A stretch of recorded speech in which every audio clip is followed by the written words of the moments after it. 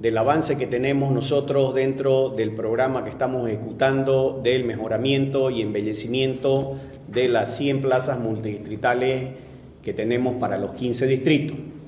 Eh, este programa, este ambicioso programa que hemos desarrollado nosotros a petición de nuestro alcalde Johnny Fernández, eh, nosotros lo estamos desarrollando de una manera exitosa. Eh, queremos informarle a toda la población que al día de hoy nosotros ya hemos entregado 16 nuevas plazas en distintos distritos municipales. Este programa va a ser de total beneficio para toda la población, ya que dentro de él, en la primera etapa, nosotros tenemos contemplada el embellecimiento de 40 nuevas plazas en los 15 distritos municipales.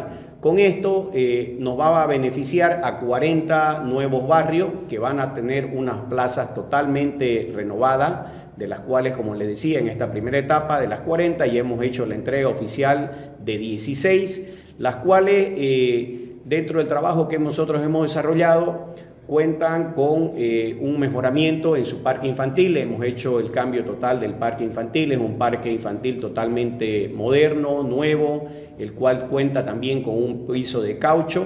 Eh, para eh, seguridad de todos los niños. Hemos trabajado también en el tema de la ornamentación, estamos colocando nuevos plantines en, en las plazas, hemos colocado basureros nuevos, estamos colocando señalética nueva, que esto es muy importante para poder concientizar a todos los vecinos del cuidado y el mantenimiento de estas plazas que nosotros estamos haciendo entrega. Y la buena noticia es para la población que el programa de las otras 60 plazas que tenemos que van a ser en beneficio de 60 barrios, ya nosotros las tenemos en un proceso de licitación, ya hay algunas que ya están adjudicadas, estamos en la espera de que las empresas hagan la presentación de toda la documentación correspondiente para poder firmar los contratos y comenzar y cumplir con una más de las promesas de nuestro alcalde Johnny Fernández, que son estas 100 plazas multidistritales. Asimismo, también pedirle a los vecinos, a los cuales ya nosotros hemos hecho las entregas en estas plazas, que por favor eh, cuiden, mantengan su plaza hermosa como nosotros la estamos entregando,